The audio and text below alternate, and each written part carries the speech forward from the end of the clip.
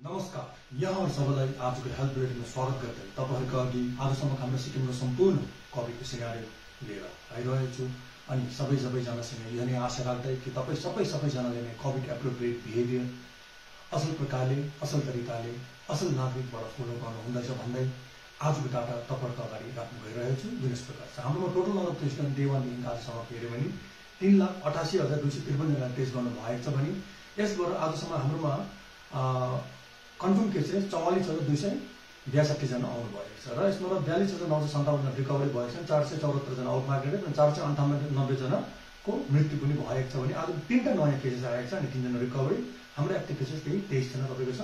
र तिनवटा केसेस कहाँ कहाँबाट आएको छ भने एउटा तपाईँको ग्याङ्टक डिस्ट्रिक्टबाट दुईजना आउनुभएको छ त्यसले गर्दा one point four percent positive rate छ भने पाटन डिस्ट्रिक्टबाट एकजना आउनुहुँदा फाइभ पर्सेन्ट पोजिटिभ रेट छ।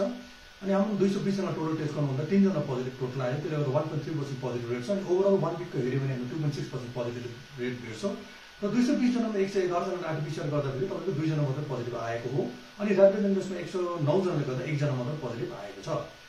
अनि यस्तो प्रकारले हामीले हस्पिटलको सिनारी हेऱ्यो भने आजको दिनमा हाम्रो एसटिएम हस्पिटलमा तिनजना भर्ती हुनुहुन्छ ट्रिटमेन्ट लिएर बसिरहनु भएको छ अनि सिआरएसमा एकजना हुनुहुन्छ उहाँ ट्रिटमेन्ट लिएर बसिरहनु भएको छ अनि होम आइसोलेसनको कुरा गऱ्यो भने हाम्रोमा डिस्चार्ज भएको पहिला कुरा गर्दा सोरेङ डिस्ट्रिक्टबाट एकजना डिस्चार्ज हुनुभयो अनि अर्बनिस एरियाबाट दुईजना डिस्चार्ज हुँदा यस उपरान्त हाम्रोमा टोटल होम आइसोलेसन कतिजना पेसेन्ट रह्यो त भन्दाखेरि नाम्ची डिस्ट्रिक्टमा दुईजना मङ्गन अनि गेजिङ डिस्ट्रिक्टबाट अनि गान्तोक डिस्ट्रिक्टबाट एक एकजना सोरेङ डिस्ट्रिक्टमा तिनजना रहनु भयो भने पाकिङ डिस्ट्रिक्टमा तिनजना होम आइसोलेसन अनि अर्बनिस एरियामा आठजना होम आइसोलेसनमा रहनु भएको छ अनि उहाँहरू सबैजना आफ्नै होम आइसोलेसनमा टाइम स्पेन्ड गरेर उहाँहरूले आफ्नै रेस्ट गरेर बसिरहनु भएको छ।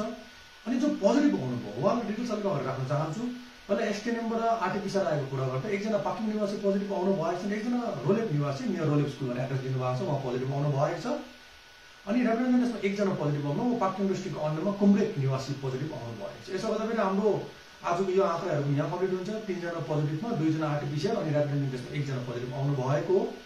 र तपाईँलाई सिधै भ्याक्सिनेसनको डिटेल्समा आउँदाखेरि हाम्रो भ्याक्सिन लगाउने कोही पनि आउनु भएन त्यसले गर्दा हामीले कोभिसिल्डको फर्स्ट डोज हामी हन्ड्रेड फोर पोइन्ट फोर थ्रीमा रहेको छौँ पर्सेन्टेजमा भने second dose ninety point four three percentage precautionary dose forty one point one nine percentage अनि पन्ध्रदेखि अठार वर्ष कोभ्याक्सिनको first dose ninety seven point three zero percentage second dose eighty five point three zero percentage बाह्रदेखि चौध वर्षको कोरोभ्याक्सको first dose eighty four point two zero percentage भने second dose seventy three पर्सेन्टेजमा हामी अटेको छौँ।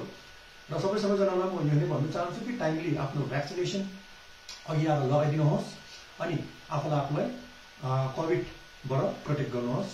अनि भ्याक्सिन लाउँदा पनि तपाईँलाई फाइदा के हुन्छ सबै सबैलाई याद छ?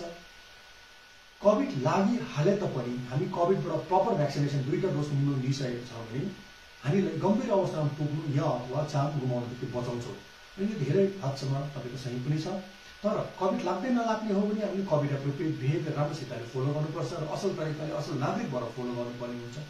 धेरै प्रकारको कोभिड एप्रोप्रिएट बिहेभियरहरू छ यसमा एटलिस्ट तपाईँहरू सबै सबैजनालाई अहिले ministry of health and family welfare government of इन्डियाले पनि यो नै भनिरहेको छ कि मास्कको सही प्रकारले तपाईँले प्रयोग गरिदिनुहोस् भनेर एटलिस्ट यति हामीले गर्न सक्छौँ भन्ने कुराहरू उहाँले राखिरहनु भएको छ र बारम्बार उहाँले मेसेज पनि हालिरहनु भएको छ। सो हामी सबैजना सतर्क भएर बसौँ कुनै बेला तपाईँको कुनै वेग कुनै लहर आउन सक्ने। यो हामीले गएको सालमा हेरिरहेका छौँ। गएको टाइममा हेरिरहेका छौँ।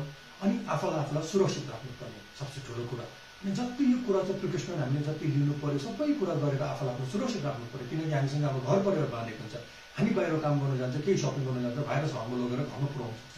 त्यसले गर्दा हामी आफै नै सतर्कता लिएर प्रिकसन लिएर आफूलाई नै सुरक्षित राख्ने घर परिवार सुरक्षित राख्न सक्छ। अनि घर परिवार जब सुरक्षित बस्छ चारैतिर हाम्रो स्टेटमा गाउँ समाज पनि सुरक्षित बस्छ। अनि जब गाउँ समाज सुरक्षित बस्छ त्यति बेला स्वाभाविक कुरा हुन्छ कि हाम्रो मातृभूमि हाम्रो प्यारो राज्य सिक्किमलाई नै हामी सबै सबैजनाले मिलेर सुरक्षित राख्न सक्छ अनि फेरि एकचोटि कोभिड मुक्त बनाउन सक्छ भन्दै आजको बुलेटिन म यहीँ राख्न चाहन्छु। धन्यवाद। तपाईँ पनि बाँच्नुहोस् अरूलाई पनि बचाउनुहोस्।